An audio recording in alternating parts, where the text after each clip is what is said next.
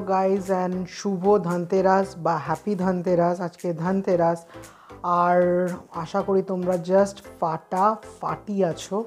তো আজকে এখন বাজে মোটামুটি ছটা, সাড়ে ছটা বাজে। তো এখন হঠাৎ করে প্ল্যান হলো যে দিওয়ালির কিছু কিছু জিনিসপত্র যেগুলো কিনবো। বা কালী পুজোর কিছু কিছু যেরকম প্রদীপ কেনা হয়নি এখনও তো সেটা কিনবো। প্রদীপ কিনতে হবে। তো সেগুলো কেনা এখনও বাকি ছিল। তো মা এসেছিল, মা হঠাৎ করে বলল যে আর ইচ্ছা করছে না বেরোতে, চল বেরোবি। তো আমি বললাম যে হ্যাঁ চলো। বেরিয়ে কিছু মানে কিনে আনি, কিন্তু বাইরে প্রচণ্ড বৃষ্টি পড়ছে, তার মধ্যেও আমরা যাব। হ্যাঁ আমরা যাব, তার মধ্যেও গিয়ে বাজার করে আনব। তো চলো, বাজারটা করে আনি তারপর তোমাদের সাথে কথা বলছি। কী কী কিনলাম সেটাও দেখ- দেখাবো। তো তোমরা দেখতে থাকো, এই ব্লগটা একদম এন্ড অবধি, কারণ একটা সারপ্রাইজ আছে, কী কী আমি কিনলাম সেটা আমি তোমাদের এই ভিডিওতে দেখাবো। তো এইমাত্র আমি কেনাকাটা করে চলে এলাম। আমি আর মা গেছিলাম বাজারে। মানে বাজার বলতে সামনাসামনি যে মার্কেট আছে সেখানে গেছিলাম।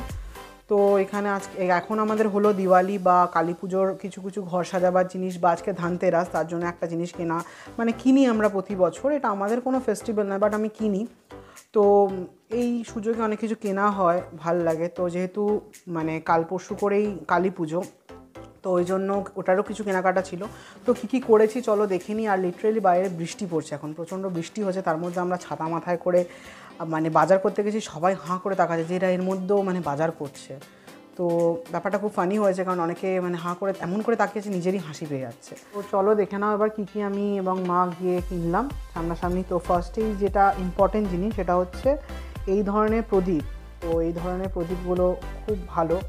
মানে আমি বিশেষ করে দিওয়ালির জন্য সবাইকে একটা ইনফরমেশান দিতে চাই যে আমরা তো প্রতি বছর লাইট কিনি। লাইট কিনবে না কেন? অবভিয়াসলি যে টুনি বাল্ব বা যে রাইস লাইটগুলো হয়, আমিও কিনেছি। কেন? কোনো অসুবিধা নেই। কিন্তু এই যে প্রদীপ বা এই দিয়াসগুলো অলওয়েজ কেন? কারণ এটার জন্যই, এটা যদি আমরা কেনা বন্ধ করে দিই, তো পর, পরবর্তী এমন সময় আসবে যেগুলো এখানে এগুলো পাবে, পাওয়া যাবে না। কারণ সেটার জন্য আমরাই দায়ী থাকব। কারণ এই জিনিসগুলো যদি বিক্রি না হয়, তাহলে এইভাবে যে মাটির জিনিসগুলো যারা বানায়, তারা আর বানাবে না। তো এই জিনিসগুলো, এটা হচ্ছে খুব ট্র্যাডিশনাল একটা মানে প্রদীপ।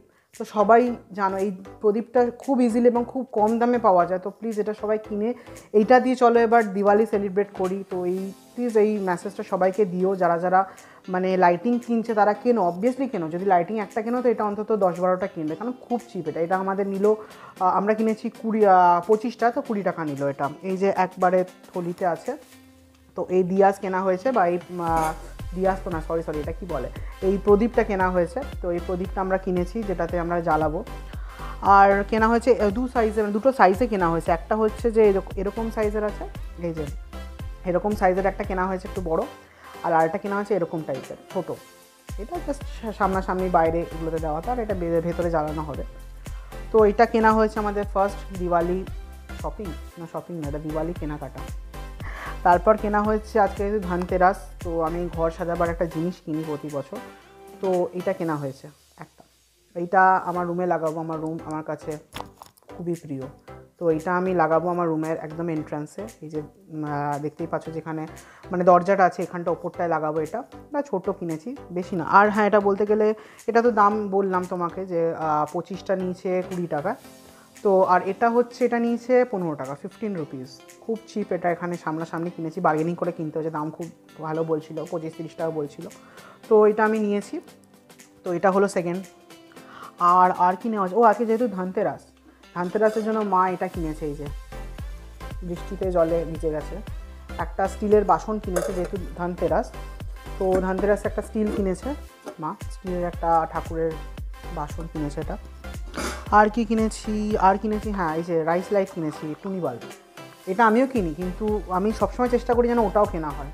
তো এটা যেহেতু মানে বেশি দিন চলে, ওটা এমন প্রচণ্ড তেল, তেলেরও দাম বেড়ে গেছে এখন। তো এটা আমি নিয়েছি, এটা লাইটিং ওই বাইরে লাগাতে হয়। তো ওটা বাইরের জন্য নিয়েছি এটা লাইটিং তো এটা নেওয়া হয়েছে, আর নেওয়া হয়েছে, এগুলো ঠাকুর ঘরের জন্য ডেকোরেশনের জন্য নেওয়া হয়েছে, এই ধরনের ফুল।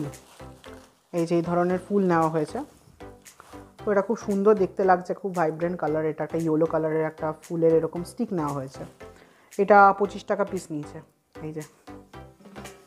এইটা নেওয়া হয়েছে একটা। তো এটা একটা নেওয়া হয়নি, এটা দুটো নেওয়া হয়েছে, এই যে আরেকটা আছে। দুটো নেওয়া হয়েছে এটা।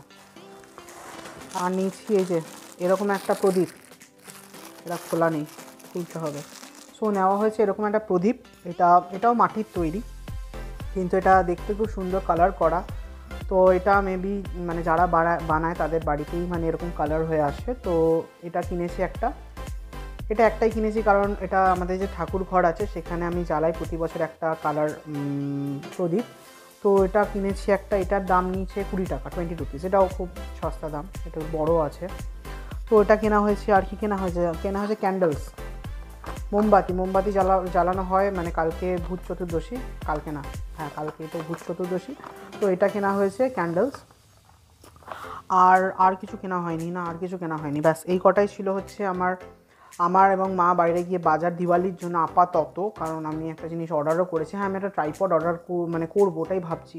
তো কেউ কিছু যদি জানো যে কীরকম টাইপের ট্রাইপড ভালো, তোমরা যদি কেউ ইউজ করো, তো আমাকে প্লিজ সাজেস্ট করো, কারণ আমার ট্রাইপড খুব দরকার শ্যুটের জন্য। তো সেটা সাজেস্ট করো আর ভিডিওসটা তোমরা দেখতে থাকো। আমি যা যা ভিডিওস আপলোড করেছি, অনেক ভিডিও আপলোড হয়েছে আমার চ্যানেলে দ্য বং ব্লগার তো সেখানে কি তোমরা আদার ভিডিওসগুলো দেখো। আর আর আর সবাই যারা দেখছ নতুন, তারা আমার চ্যানেলটাকে সাবস্ক্রাইব করো, কারণ তোমাদের সাবস্ক্রাইবের জন্য আমার আমার প্রচণ্ড সাপোর্ট হবে আর আমার মানে ইন্সপায়ার ইন্সপিরেশন হবে যে আমি মানে আমার মেনলি এটা মোটিভেশন আমার একটা মোটিভ পাই যে আমি মোটিভেশন কাজ করে যে আমি আরও ভিডিওস বানাবো। হ্যাঁ লোকে দেখছে সাবস্ক্রাইব করছে, তাহলে আমাকে নিশ্চয়ই ভালোবাসছে আর তোমরা যারা যারা ভিডিওসগুলো দেখছ, তারা প্লিজ নিজের অন্তত হোয়াটসঅ্যাপ হোক ফেসবুক হোক একটু লিঙ্কটা দিয়ে শেয়ার করো যেন অনেকে দেখতে পায়, দেখার সুযোগটা পেয়ে যাও। আর প্লিজ এই দিওয়ালি ইকো ফ্রেন্ডলি দিওয়ালি বানাও যতটা পারবে ক্র্যাকার্স মানে পোড়াও বাট ক্র্যাকার্স ফাটাও বাট খুব লিমিটেড ফাটাও বেশি ফাটে না, কারণ প্রচণ্ড এয়ার পলিউশন হয় বা যারা যারা রাস্তার কুকুর বা রাস্তার যে স্ট্রিট ডগরা আছে, তারা ভয় পায়। তো ফাটাবে না কেন? ফাটাও বাট খুব লিমিটেড ফাটাও, কারণ প্রচণ্ড এনভায়রনমেন্ট পলিউশন হয়। আর এবার ইকো ফ্রেন্ডলি দিওয়ালি বানাও এইসব মানে দিয়াজ বা এইসব প্রদীপ দিয়ে, এগুলো দিয়ে বানাও খুব ভালো লাগবে, দেখতেও খুব ভালো লাগে ট্র্যাডিশনাল লুক দেয় বা এই ধরনের দিয়ে ডেকোরেট করতে পারো। তো এটাই ছিল আমাদের আজকের জন্য এটাই মানে একটা ভ্লগ তো তোমরা দেখতে থাকো আর প্লিজ চ্যানেলটা সাবস্ক্রাইব করো শেয়ার করো লাইক করো। আর তোমরা কীভাবে এবারে সেলিব্রেট করবে দিওয়ালি বা কালী পুজো, তোমরা প্লিজ কমেন্ট সেকশানে কি বলো। তাহলে চলো, টাটা গুড বাই